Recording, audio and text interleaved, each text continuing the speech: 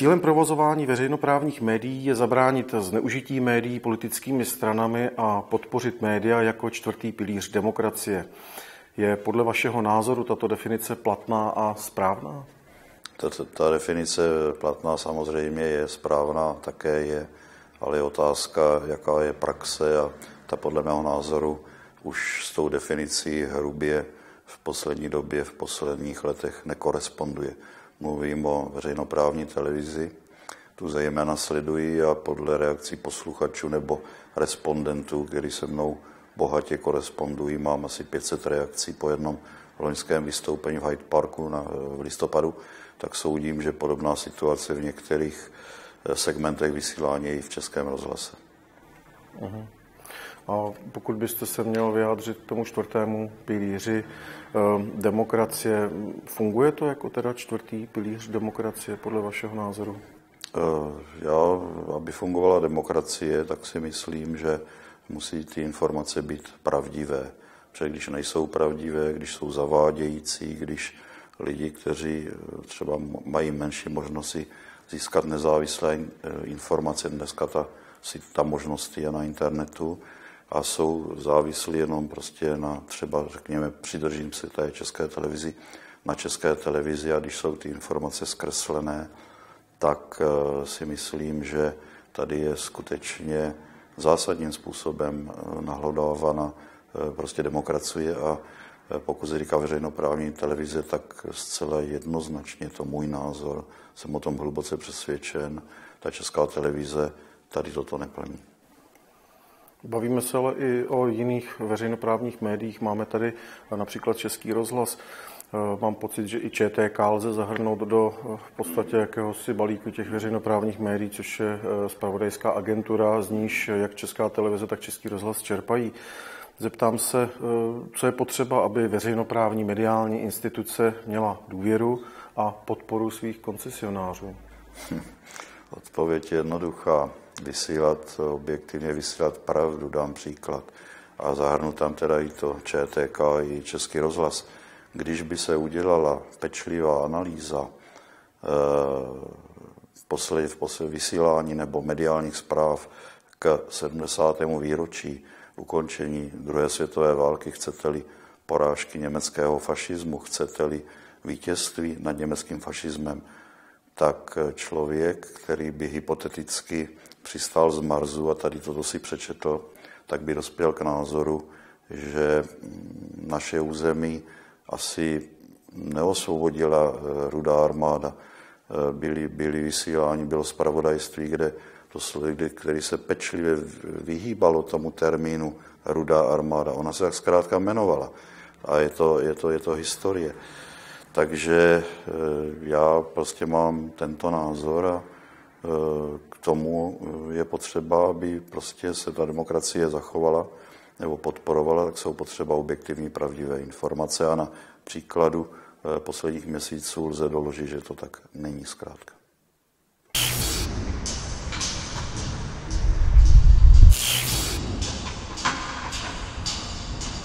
Česká televize používá k argumentaci ve svůj prospěch, tedy že spravodajství a publicistika jsou kvalitní, vyvážené a drtivá většina diváků je spokojená. Výsledky různých měření, analýz a průzkumů, z nichž některé sama vytváří, jiné pro ně zpracovávají na zakázku soukromé firmy.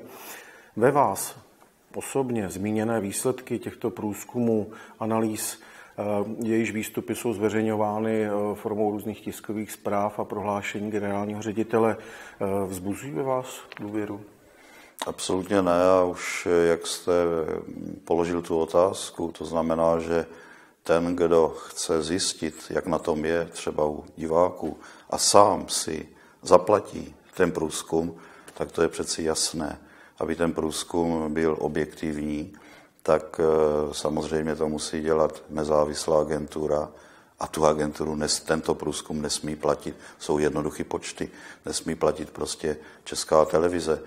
Takže eh, to podle mého názoru absolutně není důvěryhodné a já osobně prostě mm, mám asi, a mám asi 500 respondentů, kteří mě různě píší a já vím, a chodím taky mezi lidma. Já třeba v současné době začínám znovu obchůzku vesnice co vesnice, prodejna, pošta, hasiči, starostové po svém senátním volebním obvodu, je to 44 chrudím, celý to projdu, bude mi to trvat asi přes měsíc. Takže já znám názory lidí a je zcela absurdní tvrdit, že veliká většina prostě, že se vysílání České televize líbí. To není pravda. Uhum, rozumím. A uh, doplňující otázka. Víte, uh, jak třeba například vzniká taková analýza uh, zpravodajství České televize, respektive jak to ta firma udělá, nebo jaké je zadání té české televize, aby to vyhovovalo právě záměrům, potřebám tak nebyl jsem u těch analýz, ale tam třeba jedna z hlavních záležitostí je položení vůbec formulace té otázky. A to jde, to jde dělat různým způsobem a to jde dělat i tím způsobem, že ta otázka je zavádějící a ten člověk, který, mu, který odpovídá, prostě na tím nepřemýšlí, sáhne po tom, co je mu, co je mu zkrátka nejbližší. Ale, ale podstata, meritum té věci je, že ty průzkumy si platí Česká televize a kdo platí, ten také poroučí. Nechci říct, že je to totálně nějak, že to je vymýšlené, není, ale zcela určitě to není objektivní a zcela určitě je to zmanipulované ve prospěch České televize. A vy sám osobně s analýzami máte nějakou zkušenost? Zadával jste někdy analýzu, eh, například kvůli agrární komoře, kde jste působil, nebo teď v politice jako senátor? Dostávají se vám takové věci do ruky? Eh, my jsme, my jsme v agrární komoře, eh, to byly odborné, odborné analýzy, to nebyl detailní průzkum a pokud jsme někdy něco dělali, tak to byla pouze jednoduchá anketa. Takže, takže nějaké zkušenosti s tím nemám, ale nejsou ani v tomto případě potřeba, abych to dovedl posoudit, protože znovu opakuji, že aby se zjistilo, jak na tom česká televize u diváků je, tak to musí platit někdo jiný, eh, třeba vláda, a, nebo ze státního rozpočtu, což je jedno a to tež. A musí to být nezávislá agentura, ne zpřátelená agentura, eh, kterým Česká televize permanentně nechává vydělávat.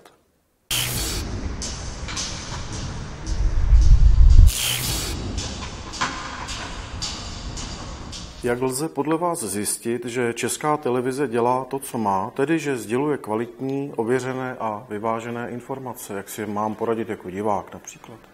Jako divák si asi těžko poradíte, ale já mám mezi svými respondenty, s kterými si dopisuji dneska už prostě e, laické odborníky, kteří třeba, kteří třeba mají, mají rozebraný Hyde Park, mají rozebraný, mají například rozebraný to, Eh, když eh, se tam pokládají prostě otázky, k těm otázkám se připojí další diváci, tak je teď třeba například je prokázáno, že ta, ty nejfrekventovanější, nejpodporovanější otázky, řekněme v první desíce, tak jsou zcela výjimečně položeny tomu, kdo tam sedí, pokud ten člověk, kdo tam sedí, je české televizi nepohodlný, jak, jako jsem byl třeba já eh, v tom, v tom listopadu, pan Klepetko to eh, tehdy dělal, čili jsou pokládány otázky až třeba po té 50 a tak dále, a tak dále.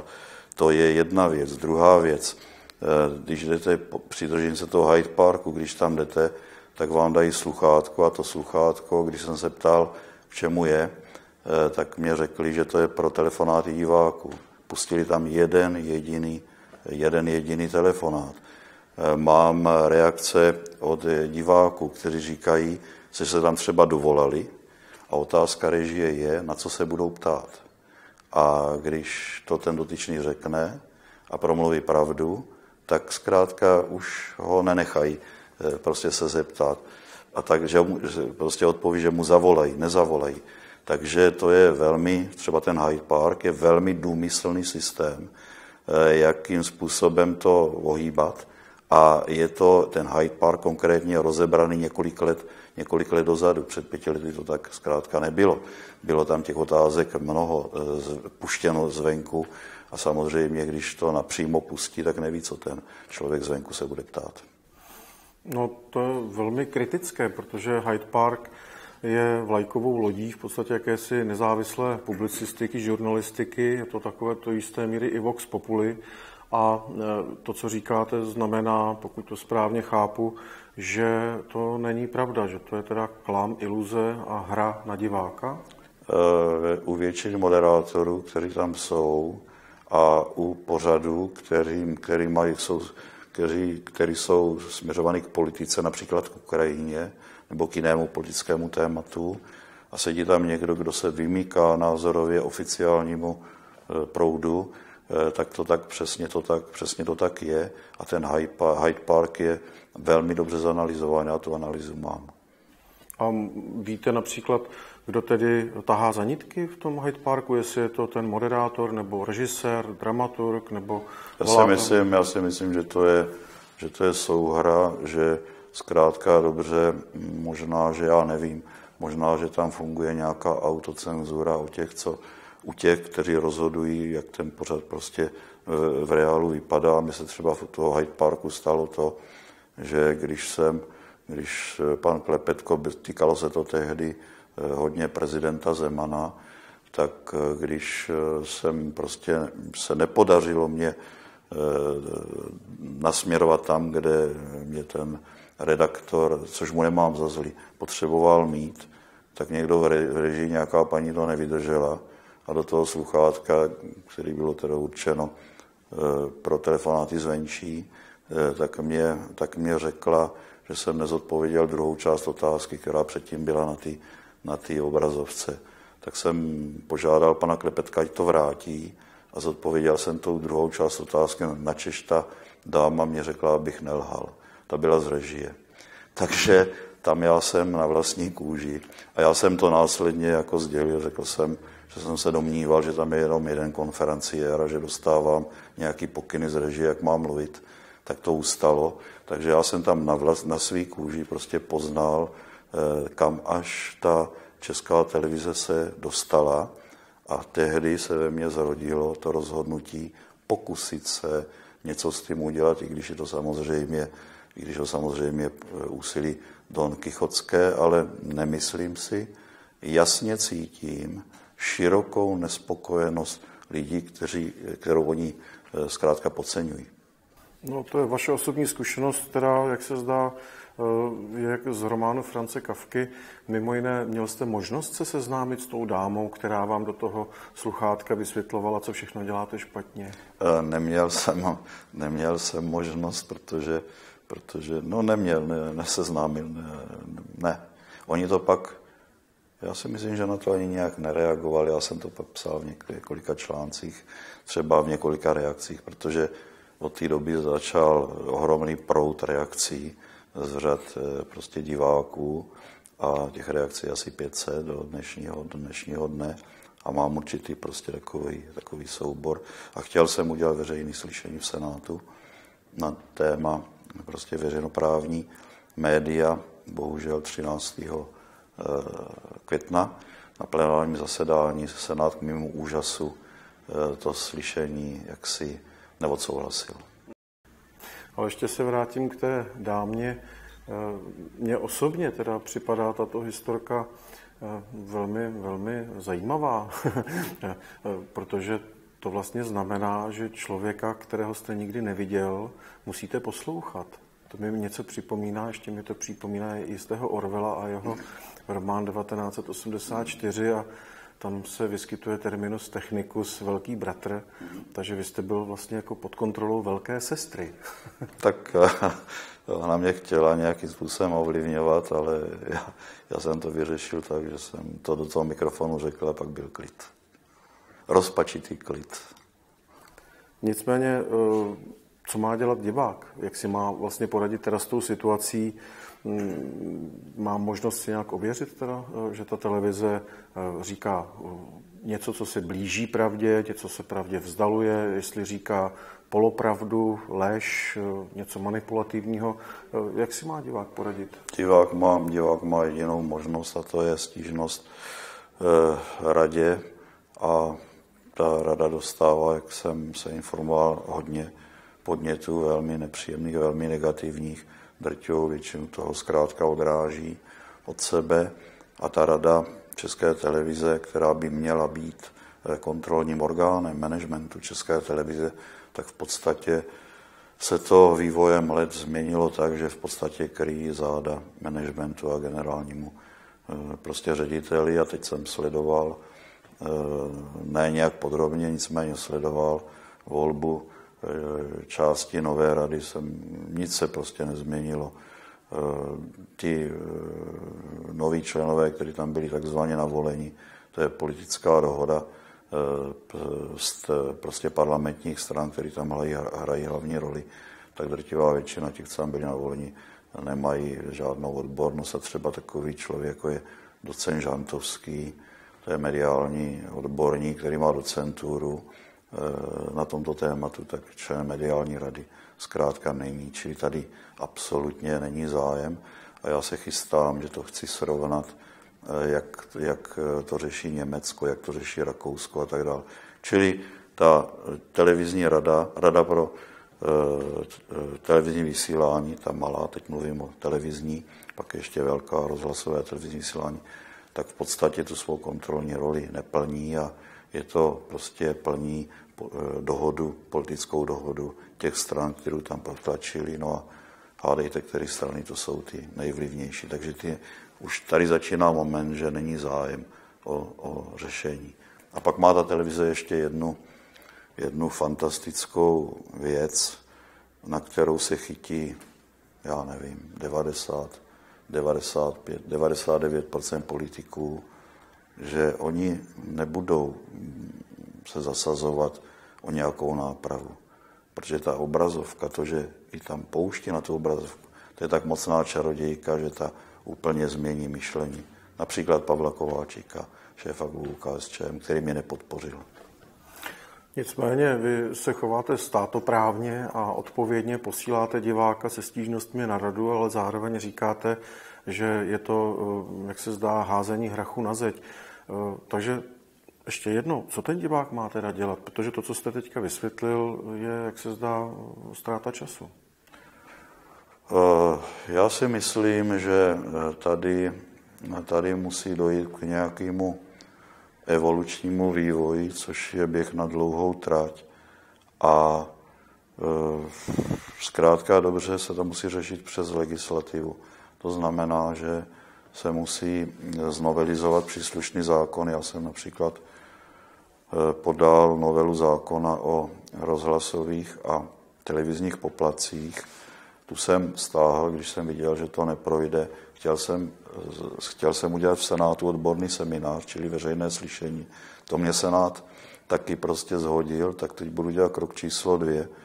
Budu se snažit to slyšení udělat se souhlasem výboru pro hospodářství, zemědělství a dopravu, jehož jsem členem, čili těžko mě zabrání to, tu akci v Senátu, odbornou akci udělat. A až to udělám, tak ten zákon vrátím. A divák má možnost prostě to všechno sledovat a podpořit mě. Eh, minulý týden jsem podal novelu číslo dvě, eh, kterou, kterou jsem na toto téma připravila. To je novela zákona o české televizi. Ta je jednoduchá a praví, že eh, by se měl, nebo navrhuji, aby se zkrátil podíl vysílacího času Kavčí hor z 80%, to je ze zákona, veřejno, že musí být prostě ve veřejnoprávní televizi Kavčihory musí mít 80% vysílacího času na 70 a u regionálních studií v Brno a Ostrava, který mají dohromady 20% na 30%, tak to jsem podal eh, prostě minulý týden. Ten divák si toho jistě povšimne tady, to, tady toho, no a eh, jedině to lze změnit přes eh, prostě legislativu. Je to ovšem běh na velmi dlouhou trať.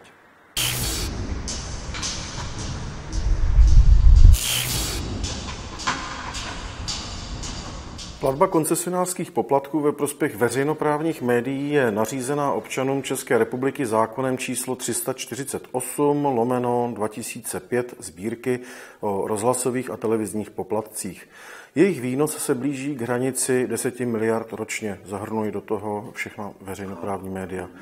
Jak vnímáte zmíněný zákon? Je podle vás kvalitní, ale lze očekávat, že se v této podobě mm, bude, řekněme, vyskytovat nadále? Eh, pokud by eh, za tyto veliké peníze eh, ty veřejnoprávní sdělovací prostředky odváděly práci, kterou odvádět mají, to znamená podávat nezávislé objektivní zpravodajství, tak bych proti tomu absolutně nic neměl. Jenomže ono se tak neděje, a takže já se domnívám, že tam je třeba, že tam je třeba změna. A konkrétně u ty televize, české televize tam navrhuju, říkám, že jsem to stáhl, ale znovu to podám až po tom odborném prostě semináři, kde to chci všechno vysvětlit. Mám dneska kolem sebe okruh 13 odborníků eh, z různých eh, segmentů té, té, tady té profese, tak eh, já třeba si myslím, že koncesionář, znovu se podržím České televize, ale platí to i o rozhlasu,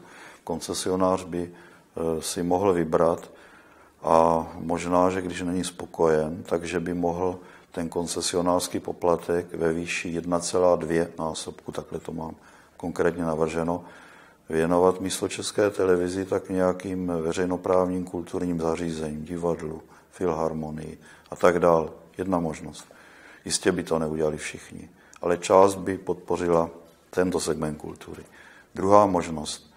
Nemyslím si, že je správné ten tvrdý centralismus té české televizi, eh, ty studia v Brně a v Ostravě jsou řízena v podstatě, když tam jsou ředitele, jak je to tvrdě řízeno z Prahy, že by, se měli, že by si měli zřídit účty svoje a koncesionář, divák by si mohl vybrat, jestli bude platit ten poplatek Praze nebo Brnu, ke kterému třeba má blíž, protože bydlí v Brně, je mu to sympatičtější, připadá mu ta, ta, ta, ta, to je vysílání lepší, nebo třeba v Ostravě. To je druhá možnost. Jsem nikdy neřekl, že by se neměli, jak udělali zkratku prostě moji odpůrci, že by se neměli platit koncesionářské poplatky. Může to tak zůstat, ale trošku to upravovat, aby zkrátka dobře ta veřejnoprávní televize musela bojovat o ty diváky, aby se, mu, aby se musela prostě snažit a ne si dělat e, prostě takový jednostranný pořady, jak, jak dělá. Dám příklad. Čemu já mám platit? Nebo se podílet na platbě takového pořadu, jako je například Pečený sněhulák, který pojednává o tom, jak prezidentu republiky se změní pohlaví, odejmou se mu varlata a já nevím, co všechno. No to, to, je přeci, to je přeci absurdní, to je zcela jasný, že jsou tam napojeny různé umělecké mafie a že na těch 10 miliard prostě je přisáto x bratrů v triku a tak to běží prostě pořád dokola. A druhá možnost je, tak jak to udělali třeba na Slovensku, tam to prostě dostávají eh, to, tam to neplatí přímo e, daňoví poplatníci, respektive koncesionáři, ale tam je to placený ze státního, ze státního rozpočtu. Uh-huh. Koncesionáři, kteří se placení koncesionářských poplatků vyhýbají nebo je z nějakých důvodů neplatí, jsou postihovaní zákonem. Jak jsou oproti tomu postihovaní odpovědní pracovníci České televize a Českého rozhlasu, eventuálně ČTK, za nedodržování zákona, například v kontextu nevyváženého spravodajství nebo přímo živého či manipulativního obsahu? Urážlivého no, obsahu, pardon. No nejsou, nejsou postihovaní, protože, protože, protože eh, politici nekonají ten stav, který je vyhovuje. Eh, možná, že to nevyhovuje Andrejovi Babišovi, když tu a tam něco natočí reportéři o jeho firmách, ale všem ostatním to vyhovuje. Pan premiér je denně xkrát na obrazovce, dokonce i opozice na obrazovce, no tak jako, jako není co řešit v úvozovkách. Takže, takže když tam jsou nějaký tu a tam, tu a tam rada přeci jenom jako řekne, že ten pořad, prostě mým třeba tím, tím pořadem, když já jsem promluvil, do, že tam z režie mě někdo úkoluje, tak oni se tím zabývali a tam tenkrát ta rada konstatovala, něco konstatovala, ale bylo to jenom prostě obít takové konstatování. Podle mě se tam nestalo, výjima toho editora, který, který cenzuroval prezidenta a vymazal z jeho výroku jméno Bakala, tak ten jakoby nepatrně postižen byl, ale o jiným žádným případu nevím. No, jeho jsem se mimo jiné dopátral, jméno tady teda říkat nebudu. Zval jsem ho do dotazníku i do debatního klubu, oslovil jsem tiskovou mluvčí České televize Alžbětu Plívovou, komunikoval jsem s produkcí na spravodajství České televize a všichni do jednoho mi odmítli jakkoliv pomoci v této věci. To znamená, cílem je, aby tento dotyčný editor, který do toho, řekněme, materiálu šáhl a jemně ho upravil, tak aby zůstal skryt a mm, nevědělo se vlastně, kdo to přesně je. To je situace ale dost, dost jaksi šílená. Vy si vybavujete ještě, jak to fungovalo za třeba období normalizace, jak fungovala československá televize? Fungovala podle vás podobně jako televize nyní? Fungovala podobně, bylo to, bylo to samozřejmě naprosto, naprosto jednostranné, obsazovalo se to, obsazovalo se klíčový funkce ředitelem byl Zelenka tenkrát, tak to bylo všechno v hlub, hluboké lojalitě k UVKSČ, eh, ke komunistické straně a tak dál. A teď eh, podle mého názoru je tam taková jakoby autocenzura a třeba Alžběta Plívová je přeci eh, bývalá mluvčí TOP 09. Hodně se říká, a já s tím souhlasím, že v české televizi převazžuje duch pravdoláskařů, to znamená, to znamená těch ideí Václava Havla, proti některým nic nemám, proti některým jsem vyhraněně třeba proti. A takže a tento duch třeba říká, že, že, že náš hlavní soupeř je Putin. Tento duch třeba říká, že na Ukrajině je to v pohodě. Tento duch přehlíží zcela jasné fašistické prvky fašizující se ukrajinské společnosti, fašizujících zákonů, který Kijev teď třeba, teď třeba připravuje a tak dále, a tak dále.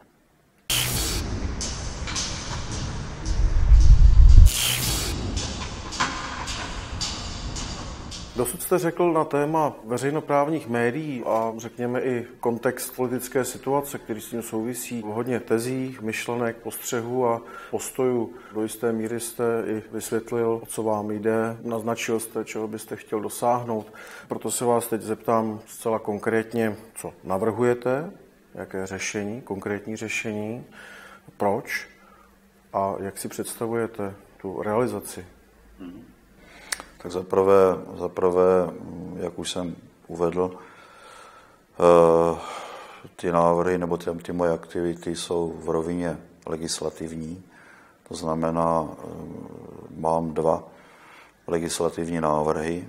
Pokud by byly přijaty, protlačeny, bude to velký souboj, těžko říct, jestli to má šanci nebo nemá. Ten druhý, eh, to snížení vysílacího času Kavčím horám a přidání těm dvou na Moravě a ve Slesku, ten si myslím, že není moc kontroverzní, že by mohl mít šanci. Tak pokud by něco z toho bylo přijato, tak ty důsledky pro českou televizi budou ty, že se budou, že budou přinuceni změnit nějak eh, postoj a přijmout tu kritiku a nějakým způsobem eh, se podle toho zachovat. To je jeden můj směr. A druhý můj směr, to, co teď řeknu, je běh na dlouhou trať, ale já sám sebe pokládám za běžce na dlouhou trať, protože šéfa agrární komory jsem začal dělat v 55 a e, senátora, senátora o 10 let později, takže já jsem běžec na dlouhé tratě. Ten druhý tedy, e, to je, můj cíl je vyvolat veřejnou diskuzi, protože já jsem si naprosto jist, že významná část e, diváků, furt se držím České televize, není spokojena s vyvážeností vysílání. A jsem si jist, že, že ta nespokojenost roste zejména teď, eh, po tom 70. výročí skončení druhé světové války. A pokud se vyvolá velká diskuze společenská, tak to je prostě eh, druhý směr, prostě tlaku na tu eh, českou televizi. A myslím si, že to určitý výsledek v nějakém čase prostě přinést musí. Pokud ne, tak má tato společnost smůlu, protože eh, pravdivé informace, proti tomu přeci hm, na tom byl založen, eh, prostě komunisté proti tomu bojovali, aby se sem nedostali prostě zprávy z druhého břehu, spoza železné opony. Proto nepouštěli lidi eh, prostě do západního světa. A ty, kteří tam pouštěli, tak ty byli ty byly prostě desetkrát prověření. Takže pokud ne, pokud se nic nepodaří, tak máme prostě smůlu a rodí se tady, ne, nechci mluvit v pózách, eh, v patozu, v dramatech, ale tak máme smůlu a prostě ta společnost eh, nemůže se vyvíjet demokraticky, i když možná, že i demokracie má své majitele. Já nevím. No, k tomu vám pouze eh, řeknu připomínku v podobě eh, takového toho mm, predikovaného postoje České televize. Oni mají přece mít svobodu k tomu, aby se rozhodovali podle svého uvážení, co je dobře, co je špatně a nikdo jim do toho zvenčí mluvit nesmí. To je jejich postoj. Eh, vy máte, jak jsem pochopil, proti takovému postoji tedy výhrady? Tak eh, pokud to takhle tvrdí, a oni to tak tvrdí, a je to nejenom jejich postoj, je to postoj zpřátelených umělců a zpřátelených firm, který pro ně za tuční peníze vydělávají, vydělávají eh, za, za tuční peníze vyrábí programy, tak to samozřejmě je postoj, který, to je stejný, jako kdybych já říkal, svým voličům, senátním volebním obvodě, takhle to je, takhle je to moje svobodné rozhodnutí, vy tomu nerozumíte, vy to, toho nemáte co mluvit. E, to tak samozřejmě, tak samozřejmě není. A to, tímto postojem oni zneužívají toho postavení, e, prostě, který, který mají a umožňuje jim to to, že Rada České televize neplní svoji roli. A to už bych opakoval, to, co jsem tady už jako říkal.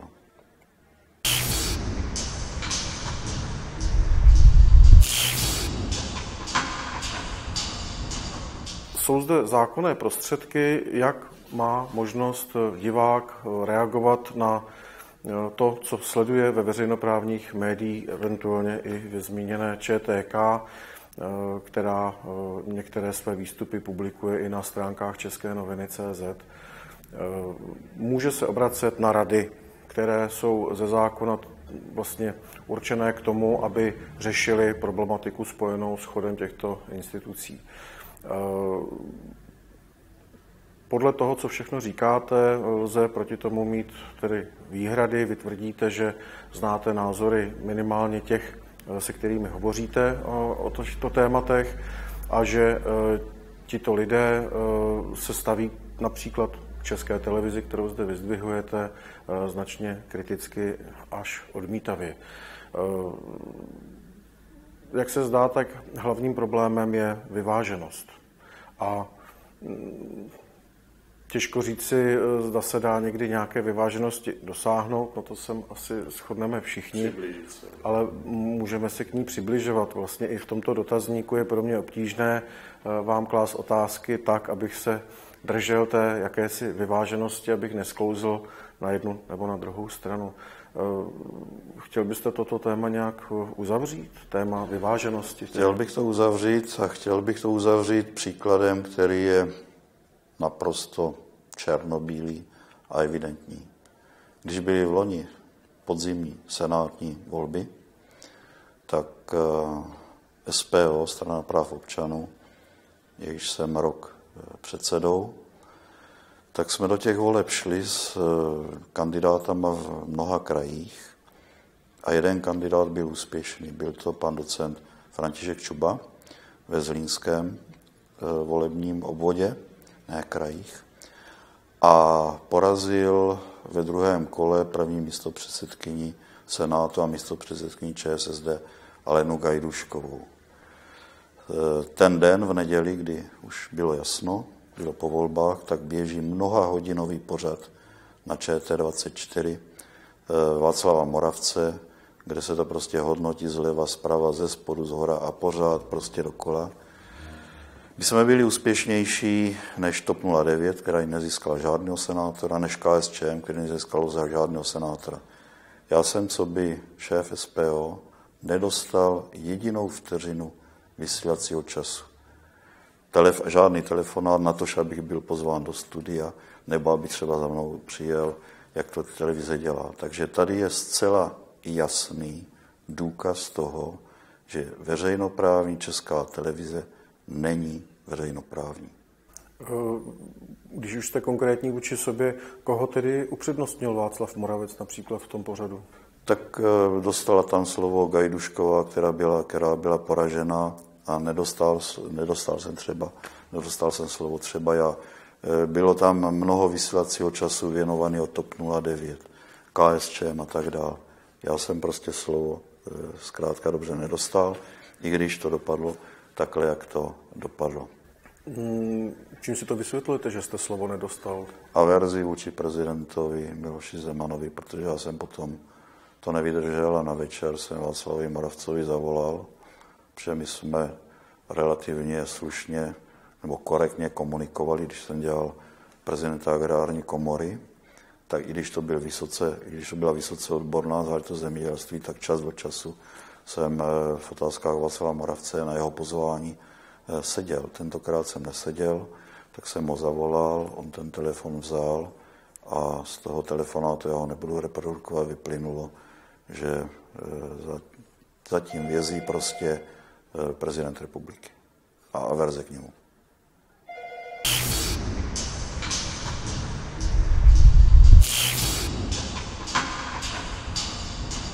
Existuje požadavek občanských aktivistů a publicistů o poskytnutí legitimní podpory českého státu třetímu sektoru, takzvaným komunitním médiím.